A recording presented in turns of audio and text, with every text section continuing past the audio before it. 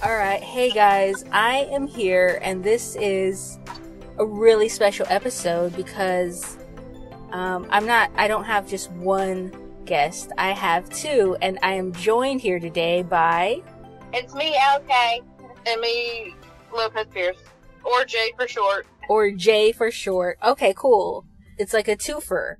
We're not really sure how this uh, episode is gonna be structured, but you know, I wanted to get back on and sort of get back into the swing of things because again, Brittana is still one of the things that like bring me great joy and obviously it's brought y'all a great joy. I mean, y'all, it brought y'all together in a way and I love that. Um, oh, it 100% brought us together. um, Don't tell my mom. Like a love story within the fandom. I've heard of a, few of them happening and I think that's just like cool, cool. So why don't y'all tell me a little bit about how y'all came to be? It, you can go into as much detail as you want or you can just sort of give us the basics. I guess basics would start with literally everything she wrote. I reblogged and fell in love with it. Like the character building, world building, and just having a different facet on the characters that I already loved, having so many worlds to be in, Mhm. and the amount of research and development that was put into each piece was something that you don't see often. And Uh-huh. it just captured me almost immediately. And it didn't matter what world they were in. We've been following each other a long time. For like six years. Six years, yeah, since I got on Tumblr. Oh wow. Basically. Um, but I have not read all of her stories because she writes stuff that I'm not into. superheroes and like superheroes and stuff. Okay, so we'll tell the mug story. I'll tell the mug story after I tell the rest. Okay, tell the rest. So, I flirted with her blatantly. Okay. I got her number probably about a year before we started dating. Okay. And I texted her like every day for like three months. And she would reply, and she's like, my day's been good, how's your day? And I flirt with her, and I was like, oh, I have family that lives, you know, in New England, and you're going to Boston College. We should try to hang out sometime. You're like, oh, and she's like, oh yeah, that sounds great. Never happened. and then also, she would spend a lot of the time sending me pictures of her dog, and I don't know if everybody knows this, and it's a very controversial opinion, but I do not like dogs. but now she's in love with my dog because he's a good boy. But anyway, so she has no idea, zero idea that I'm flirting with her, none whatsoever. And then it literally takes me being like, I will be oh, an hour away from you on these dates. We need to go get lunch. Mhm. So that turned into her coming up with okay, and so I drove all the way to her. She was supposed to meet by my house, and then I offered to drive to her and take her to the airport. Yes, so she decided to spend all day, and she met my mom before we were even dating. This is what I walked into. the mug story is funny though. So this was not a flirting present. This was not a let's get together present. It was a you've done so much for the fandom, and I appreciate it. And like backstory, a bunch of people were sending me mugs like years ago because I collect the Starbucks mugs from different cities. Uh-huh. And I was in Disney World with my girlfriend at the time and got her an Animal Kingdom coffee mug. Mhm. And I asked her her address and never sent it because I was afraid it was going to break. And then never sent it, never sent it, never sent it. And she didn't get it until the first time she came to visit me after we were And dating. it's literally sitting right next to me on the bedside table right now because I drink my coffee out of it every morning. Three years later, she got her coffee mug. Oh, nice. That's cute. That's cute. And she likes to make jokes that, you know, like I liked her before that, but that's not that's not my MO. My MO is not date somebody and then buy gifts for other people. yeah, yeah. It's really an appreciation gift because I saw other people sending her so much stuff. Yeah, I you, I remember that that period of time where you got a bunch of asks and people talking about mugs. I remember that. That's so yeah, cool. that's I have like probably 150 Starbucks mugs, and we oh, have so much room for them in our apartment. They're in boxes in the storage unit right now. uh, that's funny. Well, you know, with coronavirus, like everything just kind of happened. So Mhm. she wasn't supposed to be living with me until like right now, and she was living here from the end of March. March to the end of May. So everything got moved to the storage unit here, and we just kind of just Mhm. went with it. Y'all are like two of the most busiest people I know of. I've been trying to sort of set dates down for each of y'all to like sit down and have a recording session for like over a month. But then Yeah. so much has happened. Y'all have real life stuff. I have real life stuff. And then obviously, you know, with what happened, it was just like everybody was, Not ready. I think it's a good uh, yeah. way to just kind of throw it out there. in that episode where me and Mayte just remembered Naya, I talked about how I felt like Naya gave me that friendship with her. It was the roots of it. By the way, that was a really like healing episode, so thank you for that. it. For me, it was like I needed to get this out. I needed to go through this process. Like I'm nothing and I'm no one, but I just, what little platform I have, it's like I want to honor her and remember her. And, um, anyways, like in that episode, I talked about how like Naya and Santana are the roots and those roots turned into this beautiful friendship that I have with her. And I feel like that could be said for like you two. It's like, you know, the roots of your relationship and your love and what you have. It's like, it's Naya and it's Santana and it's Brittana. That's just so wonderful when I hear these stories about, you know, love coming out of fandom, whether that's like Glee fandom or whatever fandom it is. I think that's just, it's a beautiful thing. And it's not just like our relationship. My friend Allie Shades, like we've been friends for five or six years. There was a whole group of us from like Uh-huh. several years ago as well that I'm still friends on Facebook with. Uh-huh. And we still talk. We don't get to see each other much, but I mean, Allie Shades is invited to our wedding. Well, my best friend Nick, I met through Brittana, and she is the best woman in our wedding.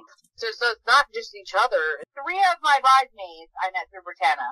So that's what I was talking about, like in that episode where I was, I, I said, if you look around and you talk to different people in the fandom, you're gonna find so many friendships. Like, not to bring it down, but like, Naya lives on in these things that we've built together. I agree. We like we talked about it a lot um about like incorporating Naya and Brittana into our wedding. uh-huh. um, especially after Naya passed. And originally, we're doing like an anniversary dance where like all the couples go on the dance floor and then you see who's been married the longest. Uh-huh. And we were originally going to do the Eva Cassidy cover of Songbird.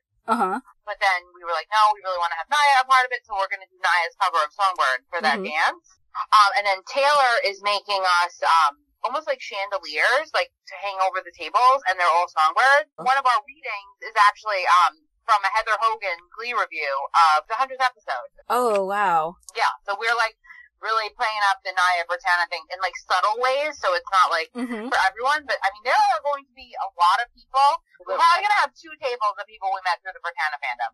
That's amazing and so wonderful. Which, and by the way, did you get your save the date today? oh, you know what? Uh, I I checked the mail and I didn't. uh, Probably get it tomorrow. yeah, I, I saw you putting them together uh, on Instagram, and I'm like, oh, those look so like fancy. Yeah, they're magnets. Oh, cool. Yeah, I was like really adamant about having magnets. and they weren't that much more money than just the card. Oh, neat, neat. Yeah, yeah. Uh, like uh, y'all mentioned, like people y'all are close to in the fandom that are going to be there at your wedding. I'm like, oh, I follow them. I Ali Shades. I know that name. I know that icon.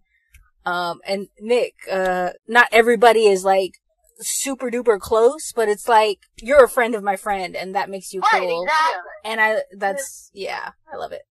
Just hard that everyone's all over the world. Yeah, that's another thing. Like the Discord, it's an amazing place and there's almost always somebody on because everybody's so spread out.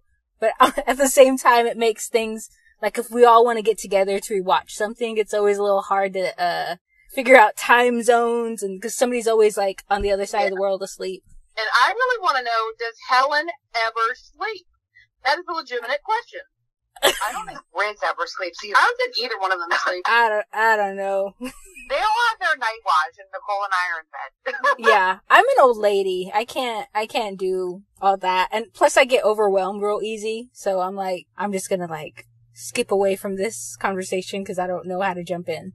Another thing we can actually leapfrog to is okay if you want to talk about your um Naya like music scholarship. Yeah, so um, we're putting together some stuff. We're probably going to do like an auction for like fan fiction and fan art, where all the money goes toward like the scholarship. Like we're not really charging; we're it's donations for the scholarship. Uh huh. So that's the next the next step in that. The logistics aren't quite worked out yet. We've kind of been talking about it, trying to figure it out. Um, but it'll be like, oh, like we are gonna bring back fan slide, and like for five dollars you can pick a song, and then like any of the authors that participate um, can write like a like a hundred word drabble based on the song, and then we'll do prices for like longer things, like a one shot. There's a bunch of artists that want to participate, and they will uh, make you whatever fan art you want, which is really cool.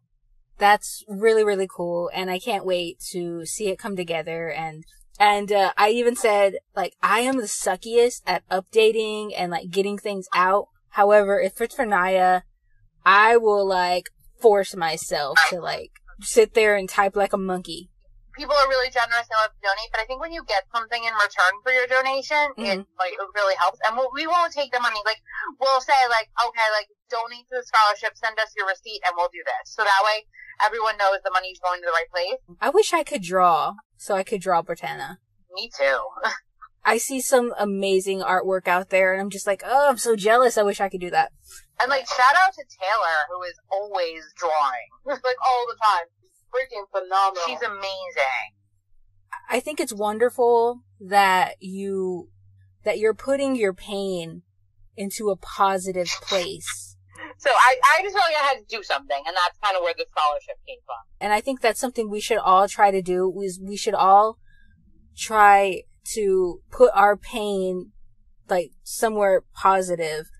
I don't know. I'm seeing a lot of people who are trying to do that. And then I'm also seeing, I don't know, this might get cut out because I might regret saying it, but I'm also I know what you're gonna say. I'm seeing a lot of people do inappropriate things or, you know, press boundaries that, you know, I don't agree with. And here's what I say is I say, as long as the person isn't trying to contact Naya's friends or family, I think they should be able to grieve in the way they need to grieve.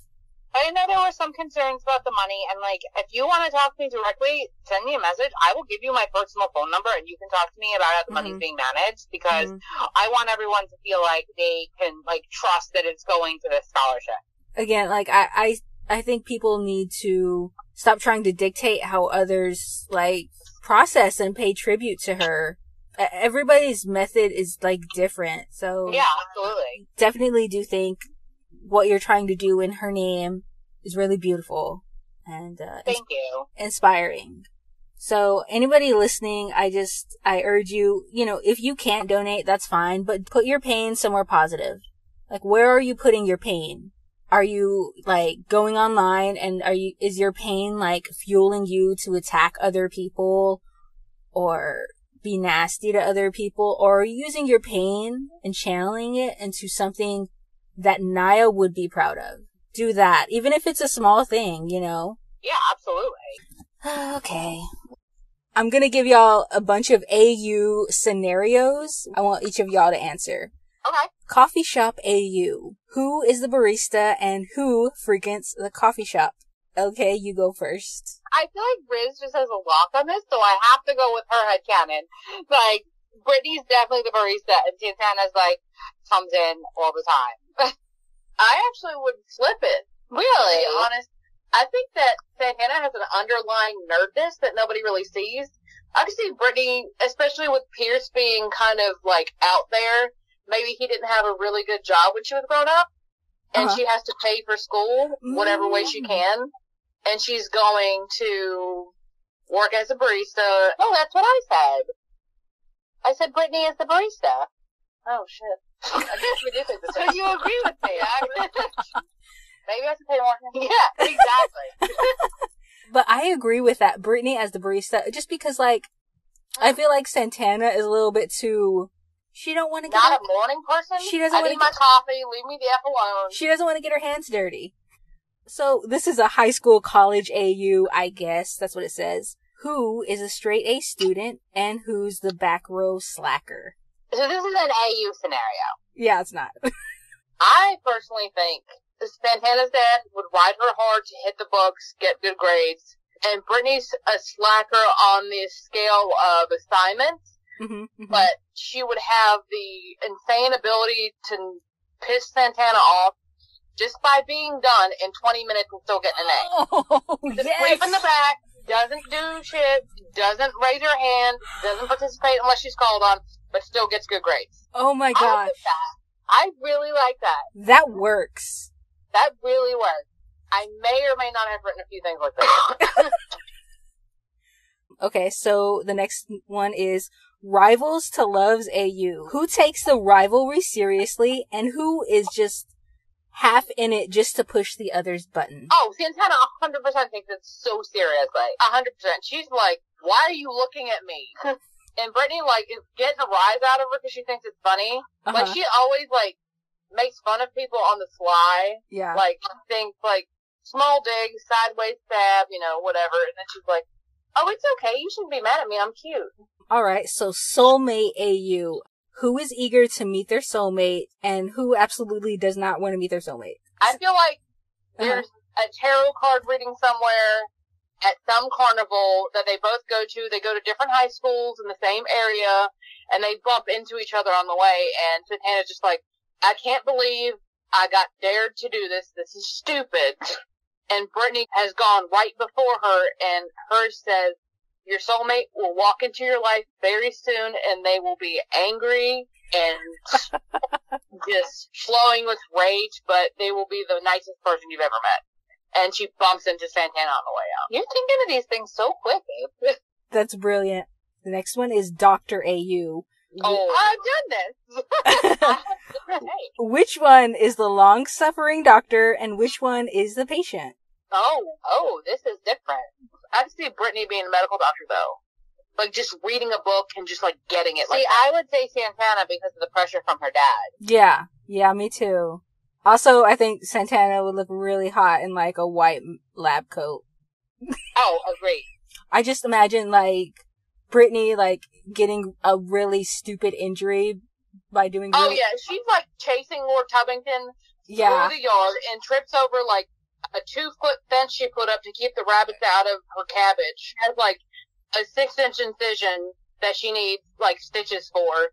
And she's just crying about Lord Tubbington still outside when they had to bring her to get stitches. And so it's a really ridiculous like story how she got there, whatever. And like in walks Santana in her her white lab coat, and Brittany is just like, whoa. Yeah, and she's really pissed off because she just came off a double. She's ready to go home, and then this happens. And then you know she's like quietly charmed by Brittany. Or she's just super annoyed, and then Brittany's back like a week and a half later with a different injury. Oh, That's a good one. I love that. I love. Oh my god, I, I like the idea of like Brittany purposely getting these sort of weird minor injuries every other week or so, just because she like she wants to see Santana. Oh my god, that's so cute. And Santana is just like, you are the most unlucky person I've ever met.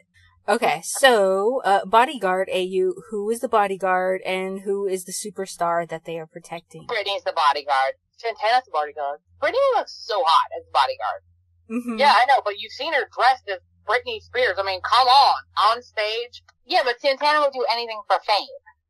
I know, but she would also cut a bitch. This is, could be played either way and it would work. That one, this is a hard one. Also, uh, if anybody wants to, uh, write a bodyguard AU fic based off of the Whitney Houston, uh, movie, like, go do Oh that. Oh my god, I would. Alright, so the next one is, um, Pirate AU. Who is the pirate and who is the member of the royal family who did not sign up for this? Oh, come on, this is like Savage. You say, or do you want me to go? Because you know I have a good one already. No, did, didn't you read Savage? Did you, Nicole, did you read Savage? Uh, there's so many fakes. and Santana's a pirate, and Brittany and Sugar get taken by the pirate. Although I real, I like honestly, if it was me, I would think Brittany would be the pirate. Mm-hmm. Like I just feel like she's like with like this rough and tumble gang of pirates, and then like Santana's like the beautiful princess, and then like you know everyone thinks she's gonna kill her because she's a pirate, but then Brittany falls in love with her. Um, no, I had Santana being the pirate, but that's because her dad maybe worked on a fishing dock.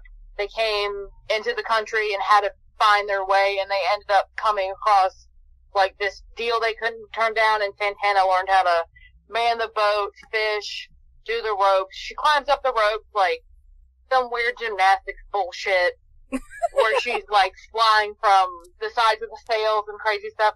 And Brittany like is riding her horse and gets lost and somehow ends up in this little island cove where the boat had parked because everybody needed to come for land. You don't park the boat, you dock the boat. Whatever.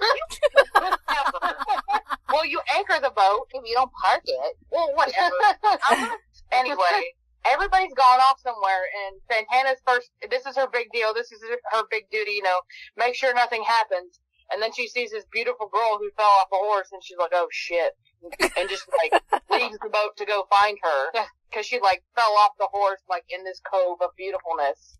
Alrighty, so the next one is, I mean, it's not totally AU, but it's like on this list. I'm gonna read it out anyways. Um, it says, childhood best friends AU. Which one was super obviously in love with the other? Brittany. And who was the oblivious one? Brittany was definitely in love, and Santana was totally oblivious because she's super straight. You're shaking your head at me. I don't think. I think Brittany would be oblivious at a young age. Oh, I don't. To be, you don't. No, I don't. I think Santana would know and not say anything, but I think Brittany would be oblivious because she's so just friendly and personable, and she's like, I feel like she's a per- person that connects with touch, even Uh-huh. if it's just a pat on the shoulder, and it Uh-huh. could be, you know, to any of her friends. And Santana melts on the inside, but just is in love with her from a young age. Just doesn't say anything till way later. I think Brittany would be oblivious. Yeah, I don't. Okay. I think Brittany's very in touch with her feelings. Yeah, me too, me too. And I think she, very early on, would be an open book and like, wouldn't know shame. Hey, you're like the Brittany. Uh, okay, that's another question I have for y'all. Like, in, in your dynamic, who is the Brittany and who's the Santana? She's the Brittany. Where did you get that from? You're totally the Brittany. Why? Because you're just like very open about your feelings. You're always trying to make me talk about stuff.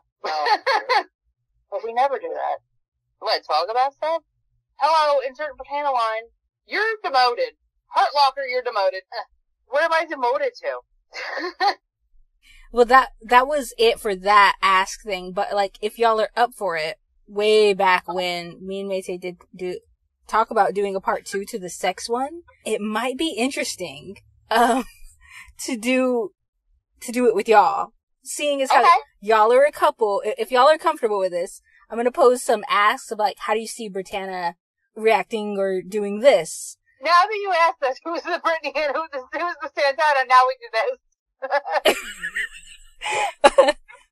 um, here's a different little ask thingy. Um, and this one is, it's gonna be like a two-parter to the sex episode I did with Mayte, and I think it would be really interesting since I have a couple here sitting in with me. So, uh, but tell me if y'all aren't comfortable with any of these questions. What are Brittana like after sex? Cuddly, gross puddle of mess and cuteness. Just like laying there talking about their feelings and how their day was. And Yeah, no, I would agree. I think Santana really needs cuddles. I think her being okay with her taking so it taking her so long to be okay with her sexuality that sometimes she still needs the encouragement from Brittany that it's okay, they're gonna be okay, and this is what she wants. Favorite body part of their partner? Okay, I'm gonna answer first and I'll, I'll let y'all think. Okay. I feel like Santana is a boob woman. Like she appreciates everything, but I don't know why. I don't know why. I've always felt like, see, I think she's like a butt woman. Me too. I agree. mm. see, I think Brittany is the butt woman. No, I think Brittany's like a total boob girl. I guess I'm thinking about at you know, at the beginning of Valerie where they're kind of just standing around with Rachel and then Brittany just like That's grass, yeah. smacks Santana on the ass. But you know, I I think a case could be made for either way. Okay, this is a weird one, and I I don't know. I, I might cut it if we don't have anything to say. But it says dirty secret. Name a dirty secret of your OTP. Which I'm not. I don't know. What's your weirdest head headcanon about them? I think Brittany gave they gave it away when they're like Brittany likes to smell and lick armpits. Although Brittany doesn't really keep a secret. No. Mm, that's true. So there, yeah. So we caught, we got caught by my mom on the kitchen table covered in flour. Nobody had pants on. She's talking about Brittana, not us. Yeah. Just to be clear. That would, that would be Brittany telling how their weekend went. Uh, This is something that came up in my discussion with Mayte, uh, but maybe y'all will have a different take on it. I don't think she and I came down on a def- definite answer, but, um, favorite position. For each or as a couple. However you want to answer it.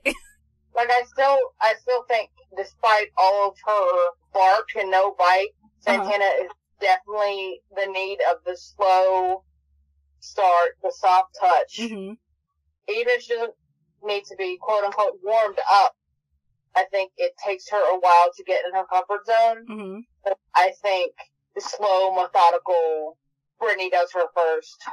Probably missionary. Yeah, I think they're very vanilla. Yeah. Yeah. I don't think so. The way I write them, personally, I write them to be very adventurous. And I write them very vanilla. See, that's a, another thing that's wonderful about fandom is like, you can find what speaks to you. It's like, if you don't like how I write them, you can turn around and you can look at LK's work and it's like, maybe that's what works for you. That's what you need out of your Brittana. And you Uh. can also find somebody who put them in alien outfits and they're doing it in a spaceship. You know, you know. Yeah, yeah. There's like, We There's- were just talking about that spaceship pic the other day in the Discord. They weren't in alien outfits, but they, we were talking about um about that spaceship pic. I've never heard of this fic. They're at like the Kennedy Space Center. They're not like Oh, oh. they're not like in space. That's Still weird. Yeah, they were on a trip with Brittany's parents. Uh, I'm gonna have to go into the Discord and find this link because I'm like, what? Can't remember what it's called. Yeah, I like to imagine them as super adventurous. Like in my latest fic, like there's talk about costumes and Brittany mentions like she got a stripper pole installed for Santana's birthday in their house. Like that's how I like to write them. Super ridiculous and super adventurous. Okay, the next one is uh location. Um what do you think their favorite places to do the do are? Oh, on the couch. You and the couch thing. I, for me, I think Brittany is more like adventurous. It's like, let's do it in the elevator. Let's do it in like your office or whatever. I think Santana is a little bit, she needs a little bit more encouragement to go there. yeah, I think they like to do it in bed. I really think they're vanilla. And my my couch answer too, like, is based on me. My head headcanon for them, like, right after they get married, is they're both back in New York. New York. They're both in college, and their schedules don't really coincide very well. So Oh. it's literally like, oh, either we're gonna do this, or I'm gonna miss my physics class. Yeah, yeah, I get And that. so that's where they end up on the couch because it's in the middle of the house. Ooh, oh, okay. Uh, wow. the next question in this is, um, preference in giving or receiving. Who does what? I think there's an equal part on both. hmm But I think Brittany is typically the one to start initiating. Yeah, I would agree with that. I'm not saying Santana can't be so spontaneous and decide to flower petals and candles and stuff, or chase Brittany into the shower and start Yeah. getting her wound up. But for the most part, I think Brittany's the initiator. Um, the next one is uh, stamina. How many rounds can they go for? How long do they last? And who's the Energizer Bunny? Oh, Santana's the Energizer, Energizer Buddy. I would say Brittany. Me, I would say Santana. The reason I say that is because once she's in the zone, like, Mhm. and she's ready and comfortable, she's in the zone. Um, the next one is uh, Risk. Are they game to experiment? If so, how? Again, okay, I, I'm sure you're like, they're vanilla! That's exactly what I was gonna say. I'm like, how many times can I answer that? I think it would depend on the risk and what it was. I think if there was like a Glee reunion and they were playing Truth or Dare and they got Dare to go do it, and say they're at Jesse and Rachel's house hmm and somebody dared them to do it in their bed, they would totally do, they would totally do it just Oh. to spite oh my god, yes. But depending on the situation and who's there, Yeah. I think if it was if it was really low risk, they would probably like do it in a back parking lot of the job they're working when they when like they know nobody will ever come around. Mhm. But with their with a slight chance of getting caught, I don't think they're that adventurous. yeah. No, I don't think Sa- Santana could handle that. I guess it's it's all about one's interpretation of Santana. But sometimes I still see her as I just see her as Hurt Locker Santana, Uh huh. even though she came so far. I think there's still like tidbits of her that are still scared, even though her and Brittany are married. Like it's a, like hmm she worked so hard for them to get where they are, and she's still scared that it could all be taken away. Oh, I I get what you're saying. Yeah. Because it got dang- it got dangled in her face, kind of, and then it got stripped away. No matter how far she's come, she still feels like one day somebody's gonna yank the rug out from under her. Um, the next one is volume. Are they loud? And if so, who is the loudest? Both of them are extremely loud. I think Santana's louder. Again, I think that an argument could be made on both sides of this and it would, it would make sense. But I don't know. I don't know where I land on this one. Uh, the last one is, uh, sleep. How quickly do they fall asleep afterwards? Who falls asleep first? Brittany. Brittany. Yeah? I think Santana like gets in her head. And her brain just keeps going. Yeah, I agree. Mm, yeah. Plus, I think she would like to watch Brittany sleep for a while after. Yeah, I agree. Santana's like a needy bitch. she is. She is. Oh man. So I think that's going to be it for us right now. Thank you so much, both of you, for sitting in and talking to me. And I know y'all's schedules are like crazy busy right now, so it means a lot. yeah, no, we're so glad to be here with you. We love that you do this for the fandom. Yeah, we had so much. We had so much fun, and it just feels like the last two times you and I have tried to connect is just like something. I'm glad that we got it together, that it could be the three of us, because I feel like that it's different and it's fun, and yeah. Yeah, no, this was really fun. Because I enjoyed recording with you anyway, but this was like extra fun. it made for an interesting conversation. Um, so hop on the Discord if you want to chat with LK or Jay. Uh, we're there and it's just all about Brittana, but we're, you know, we're enjoying other shows and yeah, if you need a community, if you need somebody to chat with, just, you know, there's other people out there and you're not alone. And make sure if you want to talk to one of us, you at us because it's just easier to see the messages as you get a notification. Yeah, especially when I'm working. Basically during the middle of the day, I'm not on my phone much. I, on the other hand, am home all day because I go to school at night. Thank you guys so, so much. Um, I Thanks really for having appreciate- us. Yeah, thanks for having us. No, thank y'all because like I I needed to get back to this. I needed to get back to something that I mean, I needed to put my pain somewhere and this is where I'm putting it right now. So, thank y'all. All You're welcome. You're welcome, ma'am. Uh I will talk to y'all later. I really appreciate it. All right, bye, Nicole. Bye. Thanks.